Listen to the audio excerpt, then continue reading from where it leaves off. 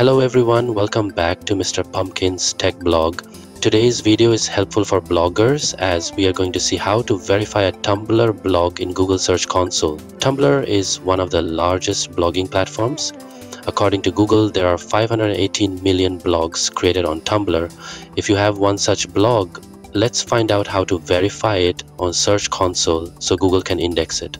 I have created a blog on Tumblr for demo purpose. This blog is about Instagram growth strategy, so I have posted some relevant content on it. For verifying your Tumblr blog on Search Console, let's open Search Console in a new tab. I already have a bunch of blog created on Tumblr and Blogspot listed here. This new blog will appear here once we verify the ownership of this blog. So let's continue and click on Add property button in the bottom of drop down. You will see two options to choose from either domain verification or URL verification. Even though you try domain verification, you cannot proceed with it since it is not a self-hosted domain. But still for demo purpose, let's try it once. Copy and paste your Tumblr blog URL into the domain section. You need to remove https and any slash symbol from the URL to enable the continue button. Click on the continue button to proceed in the next step, console will ask you to add a TXT record to domain server settings. Since it's a Tumblr hosted blog, we cannot edit DNS settings of it. So we will go back and proceed with URL verification method. In this method, you need to paste the URL again into the URL verification section.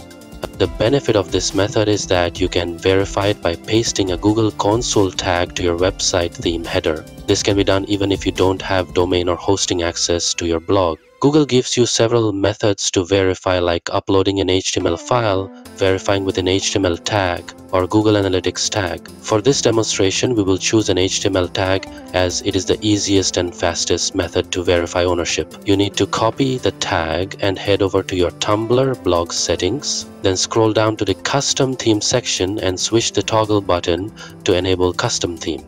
Next click on Edit Theme button. It will open Tumblr default theme editor in a new tab. Next, click on the Edit HTML text at the top to view the code editor. It contains the entire HTML code of your theme. Next, you need to click on the settings icon and in the search for input box, search head and element. Once you find it, just paste the Google tag that you copied earlier inside head element. Next, click on update preview and then save the theme. Now let's head over to the search console again and click on the verify button to start the verification. It will take a few seconds to verify the ownership and you will get a green signal saying ownership verified. You can check your new blog in the drop down. For Google to index your Tumblr blog, you need to add a sitemap of your blog to the search console.